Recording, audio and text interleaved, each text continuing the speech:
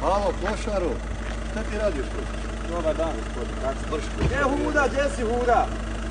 Ljudi, vidite li ovo? Jesam ja rekao da će ovaj klošar onim sazivom mjesto u cestu i koja nije više biti na TikToku.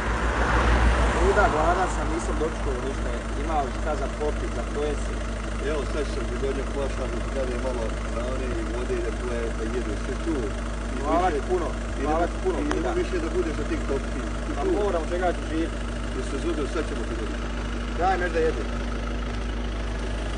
Dobit ću otkaz, moram mest, dobit ću otkaz. Do desa.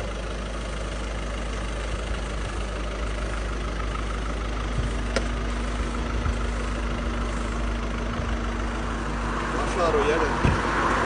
O, hvala ti puno, kralju moj. Hvala ti. Hvala ti. O, hvala ti, Huda. Evo to. Ti veća pateta. Svaka čast. Ljubite, brat.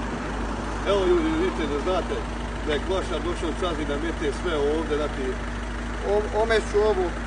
Direktor i ja idu, moram ići. klošar ovo da bude sutra da vidi, mora biti sve po PS, razumio? Dobro, dobro. Eto. Se, evo, hvala. prijatno, vidimo se. Ćao.